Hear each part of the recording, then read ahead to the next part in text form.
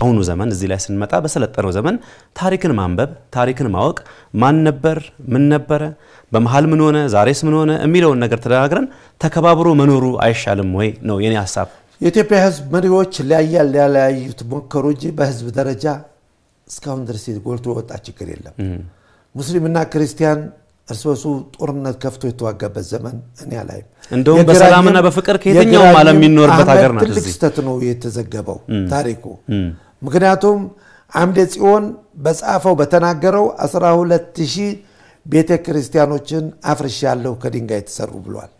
12 ሺህ አምደ ጽዮን ከዛ ቀጥሎ የልብነ ድንግልንም ታሪክ ሌላ መሐመድን ታሪክ ስናይ አንትና ማነው አህመድ ኢብራሂም ቱርኮች ጋር አሻጥር አድርጓል፣ ግንኙነት አድርጓል። ብሎ እነሱ ከብርቱጋሎች ጋር እኮ ግንኙነት አድርገው ፋስኮ ዲጃማ ወንድም ነው እኮ የተገደለው እዚሁ እነሱ እኮ ብርቱጋሎች እኮ ናቸው የገደሉት አህመድ ኢብራሂምም የእንትን ብቀላ ነበር። ግን እስኪ አህመድ ኢብራሂም ፋሲል ግንብን አፍርሷል፣ ላሊበላን አፍርሷል፣ አክሱምን አፍርሷል። አልነካም። እኔ ታዋቂ ቅርስ ታሪኮች ቦታዎችን ስለዚህ ዝም ብለው ጥላሸት ቀቡበት እዛ ላይ።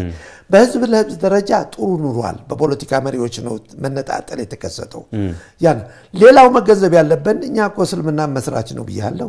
ስለዚህ አንድ አረብ ቱሪስት መጣና እስልምናውን ይዞ መጣ ብዬ ለወነጅሎ አልችልም። እኛ እስልምናውን መስራች ነን። እኛ የምንፈልገው ዶላር ብቻ ነው፣ ሌላ ነገር አንፈልግም። እኛ የምንፈልገው ስራ አጥነትን መቅረፍ ነው። እኛ የምንዋጋው ድህነትን ነው። ምክንያቱም ገልፎች በተፈጥሮ ደረጃ አንድ ነገር ማምረት አይችሉም። ዶላር ብቻ ነው ያላቸው ከነዳጅ የመጣ እኔ ጋ ግን ደጋ ወይና ደጋ ቆላማ ሁሉ ምርት ይሰጠኛል። በዛሬው ጊዜ ሳኡዲ ውስጥ ስድስት ሚሊየን በግ ይፈለጋል ለዚህ ለአረፋ በዓል ስድስት ሚሊየን ከየት ነው የሚያመጡት? ከቱርክ ከአውስትራሊያ ነው የሚያመጡት። በሀገር ውስጥ ያለው ከሁለት ሚሊዮን በላይ አይሆንም። ኢትዮጵያ ግን ማዘጋጀት ብትችል ከብት ስጋም በተለይ ማደለብ ብትችል market ኡ ክፍት ነበር። የእርሻ ውጤቶች በሙሉ ይፈለጋሉ። ከቅመማ ቅመም እስከ ስንዴ እስከ ምን እኔ ማምረትም አልቻልኩም።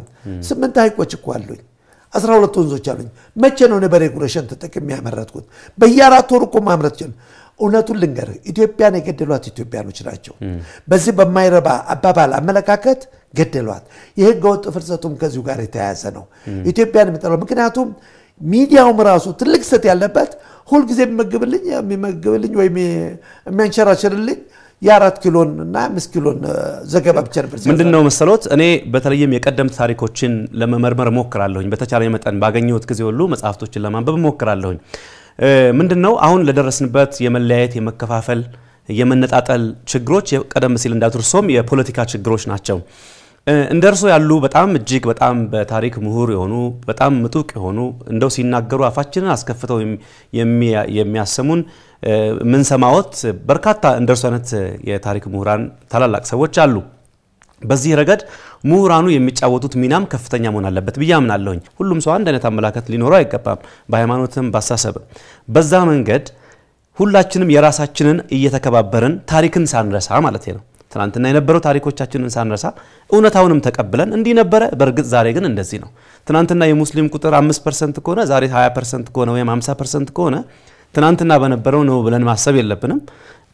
እንደዚህ እያለን ነገሮችን reality ውን እውነታውን እያስቀመጥን ተከባብረን ብንኖር አገራችንም አድጋ ትልቅ ሆና አሁን የሚሉትንም የኢኮኖሚም ችግሮችን የምንፈታባቸው ብዙ ነገሮች ይኖራሉ። ለዛ ሁሉ ችግር ግን ሁሉም በራሱ የኔ ነው አንደኛ የኔ ነው ትክክል የኔ ነው የሚበልጠው የኔ ነው እውነት የሚለው አስተሳሰብ አይደለም ወይ ማህበረሰባችን ጋር ያለው ችግር ከፖለቲካው ባሻገር? እሱ ላይ እኮ ነው ምልህ ቤተ ክርስቲያንም ኃላፊነቷን በአግባቡ አልተወጣችም። መስጊዶችም በኃላፊነታቸውን በአግባቡ አልተወጡም። እዚህ ሌላው ደግሞ የተማረ ሙስሊም ህብረተሰብ ማፍራት አልቻልንም ነበር በድሮ ዘመን። ወደ እኔ ታሪክ ስመለስልህ ራሱ እኔ የዛሬ 54 ዓመት አገሬን ትቼ ስሰደድ በሊሲባሴ ነው የሄድኩት። የመጀመሪያ ዲግሪዬን ከኪንግ አብዱልአዚዝ ዩኒቨርሲቲ ነው ያገኘሁት። እዛ ሳውዲ አረቢያ አዎ ሳውዲ አረቢያ public administration እና political science ኢኮኖሚ። ሃርቫርድ ዩኒቨርሲቲ እውቅና ሰጥቶታል። ሶርቦን ዩኒቨርሲቲ ፈረንሳይ እውቅና ሰጥቶታል። የእንግሊዝም እውቅና ይሰጠዋል። ሁሉም ማለት ነው። እዚህ ዲግሪን ይዤ መጥቼ ሰቃይ ነበርኩ በጊዜው። ብዙ ታሪክ አሳልፈናል። ፓስፖርት የማግኘት ሁኔታ ችግር ነበር። እናወራዋለን። ይንገሩኝ። አዎ። ችግር ነበረ። በሊሲባስ ሄድኩኝ። ፓስፖርት ስጡኝና ባካችሁ ትምህርት ቤት ገብቼ ልማር ስላቸው ትምህርት ቤት ተፈቅዶልኝ ወጣት ስለነበርኩ ወይም ሕፃን ስለነበርኩ ፓስፖርት አንሰጥም፣ አንተ የመጣኸው በሊሲባስ ነው፣ ተመለስ ነበር የተባልኩት ወደ ሀገር። ይሄ አንዱ ማነቆ ያን ይዤ መጥቼ አመዛዝኑልኝ ስላቸው አይ መካከለኛው ምስራቅ ያገኘኸው ዲግሪ ስለሆነ ወደዛው ይዘህ ተመለስ፣ እዚህ ሀገር ቦታ የለህም ብሎኛል። ስለዚህ እውቅና አልሰጡትም ማለት ስራ ማግኘት አልችልም ማለት ነው። ግን ከመካከለኛ ምስራቅ ብቻ ነው። አንዳንድ ሌሎች ሀገራትም አረብ? ሀገርም በሙሉ በዚህ አይነት ከሌሎችም፣ ከሌሎችም፣ አረብ ሀገራቱ ብቻ ሳይሆን አረብ ሀገርን የዚህ አይነት አመለካከት ነበር በጊዜው የነበረው። ግን አረብ ሀገር ብቻም አልነበረም ነው። አሁን እሱን እርስዎ ከዛ አካባቢ ስለመጡ እንጂ እኔ ከዛ አካባቢ የመጣሁ ነው እንጂ ከሌሎችም ሀገሮች ላይ ሊሆን ይችላል። ለምሳሌ ነው። መጥቶ ሌላ ሀገር ላይ ለምሳሌ ከኢትዮጵያ የመጣ አሁን ጓደኞቼ አሜሪካን ሀገር በዚህ ከሕክምናው ጋር ተያይዞ ወረቀቶች ሲመጡ አንዳንድ ሀገሮች ላይ ከሆነ ሀገር የሚመጣ ፖሊሲን አይቀበሉም። ማለት የተለየ አናርገው ማለት ነው። ያ በመከሰቱ ምን ሆነ? እዛ አካባቢ ተምረው ግብፅ የሚማሩ ሊቢያ የሚማሩ ወደዚህ አሁን እኮ እኔ 18 የሚሆኑ የፒኤችዲ ዲግሪ ያላቸው ኢትዮጵያውያን በገልፍ ውስጥ በተለያዩ ዩኒቨርሲቲዎች ትምህርት እየሰጡ ነው ያሉት። ወደ ሀገራቸው አልመጡም።? በዚህ ምክንያት በያ ምክንያት እንዳለ ቆይቶ ነበር። በደርግም ዘመን ቀጥሎ ነበር ማለት እችላለሁ። ሌላው እስኪ በውጭ ጉዳይ ሚኒስቴር ማን ነበር ሙስሊም ተቀጥሮ የሚሄድ? የለም። ምክንያቱም እንዲማርም አልተፈቀደለትም ሀገር ውስጥ ውጭም ሄዶ ምክንያቱም ገደብ ተጥሏል በአጼዎቹ ዘመን ሙስሊሙ እንዳይማር ማለት ነው። ለልማትም እንዳይጋለጥ ወይም እድል እንዳያገኝ ተደርጓል። ለዚህ ብሎ በኢትዮጵያ የሚገኙ ሙስሊሞች አስር በመቶ ናቸው ይሉ ነበር። ግን ሀቁ ይሄ አልነበረም። በኢትዮጵያ ያለው ሙስሊም በአፍሪካ ሶስተኛ ነው በአሃዝ ከገልፍ ነዋሪዎች በላይ ነው። ትክክለኛ ቆጠራውን እንቁጠር ብንል በአሁኑ ጊዜ እንደ አፋርና ሶማሌን፣ በኒሻንጉልን፣ ሀረርን፣ ኦሮሚያ ሙስሊምን እንኳ ብትይዝ ከዚህ አሃዝ ከግማሽ በላይ የሆነ ሙስሊም ህብረተሰብን የያዘች ሀገር ነች። በዓለም ዘጠነኛ ነች። ሰማ ይህንን አሃዝ የያዘች ሀገር ለድህነት ለኋላ ቀርነት ለድህነት መጋለጡ ለሀገሪቷም ሸክም ነው የሚሆነው። ስለዚህ እኛ ምንድን ነው የሚጠቅመን አሁን ያለውም ጥንቃቄ የሚሻው አንድ ሌላ ትልቅ ስህተት አለ፣ ስጋት አለ። ያ ስጋት እኔ ልንገርህ ቦታ የለውም እዚህ ምን ሀገር። አይነት ስጋት ነው? Islamic phobia የሚባለው አጀንዳ ይሄ በአውሮፓ ውስጥ የሚነዛ ይሄ ቦታ የለውም ኢትዮጵያ። እኔ ስለዚሁ መጽሐፍ ጽፌ ያለሁ ለምን በለኝ የፈረንሳዮች ችግር ራሱን የቻለ ችግር አለ። ፈረንሳይ አልጀርስን ከመቶ ዓመት በላይ ገዝታለች። ከመቶ ዓመት በላይ ገዝታ አንድ ሚሊዮን በላይ አልጄሪያውያን ናቸው መስዋዕትነት ህይወታቸውን ሰውተው ነፃ የወጡት። ከዛ በኋላ አልጀርሶችና ቱኒዚያዎች፣ ሞሮኮዎች ወደ ፈረንሳይ እየሄዱ በነፃ ስራ እንዲያገኙ ተደረገ። የመጀመሪያው ትውልድ በሌበር ደረጃ ነው የወሰዷቸው። የተወሰነ ኤሪያ መደቡላቸው፣ እጅግ በጣም ድሃ የሚባል አካባቢ። ከዛ ማግባት መውለድ ጀመሩ። ሁለተኛው ትውልድ መጣ። ከሞላ ጎደል ማንበብ መጻፍ ቻለ። ሶስተኛውም መጣ። አራተኛውም መጣ። አራተኛው ትውልድ የሚናገረው ፈረንሳዊ ነው፣ ግን እኩልነት አልተሰጠውም፣ አልተሻረውም። የያዘውን ዲግሪ እንኳ በስንት ስቃይ ነው የሚያገኘው። ስራ አያገኝም። አንተ መጤ ነህ ተባለ። እዚህ ላይ ነው ብሶት የተፈጠረው። ነባር ፈረንሳዊና መጤ ምዕራብ አፍሪካውያን ሁለቱ ላይ ግጭት ተፈጠረ። ወደዛ ይመለስ ቋንቋውን፣ ባህሉን አያውቅም፣ እምነቱን ብቻ ነው የያዘው። ስለዚህ የምዕራባውያን ችግር የፈረንሳይም ሆነ እንግሊዝ ያ ነው። ወደ አሜሪካ የመጣህ እንደሆነ ሁሉም መጤ ነው፣ ጥቁሩም ነጩም ሁሉም።